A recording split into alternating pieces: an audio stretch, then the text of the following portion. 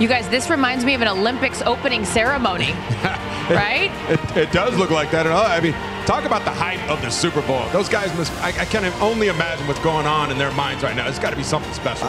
The countdown is on to a legendary pregame party with music's biggest superstars and backstage access to the greatest halftime ever. It all happens just before kickoff. The Fox Super Bowl pregame show, Sunday.